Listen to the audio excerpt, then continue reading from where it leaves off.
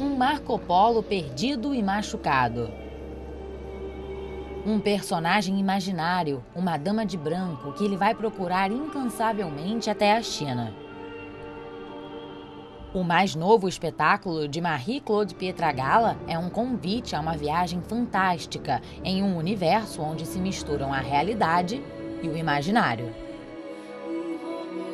Marco Polo, notre personnage, Julien Derrault, bailarino que interpreta Marco Polo, diz que o personagem amadurece ao longo do espetáculo. Ele cai, mas logo depois aprende a se levantar.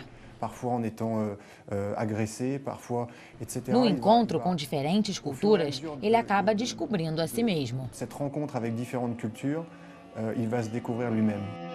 As cinco cenas do balé misturam dança clássica, contemporânea, hip hop e filmes animados. Uma cena para cada elemento da cultura chinesa: água, terra, ar, fogo e metal.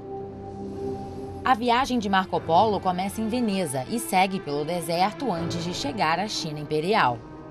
Marco Polo é um herói maravilhoso, comparável a um atleta, segundo Pierre Cardin, produtor do espetáculo. O personagem atravessa mundos, encontra países diferentes, enfrenta lutas e obstáculos até chegar ao seu destino.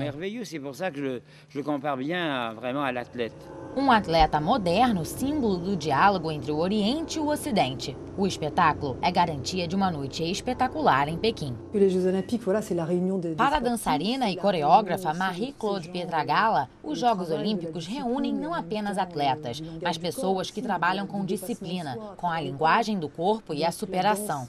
A dança, segundo ela, também é uma forma poética de autossuperação. O espetáculo Marco Polo vai ser apresentado em várias cidades da China até 15 de outubro. O show, que retrata a primeira viagem que marcou o encontro do Ocidente com a China, promete ser um sucesso durante estas Olimpíadas de Pequim.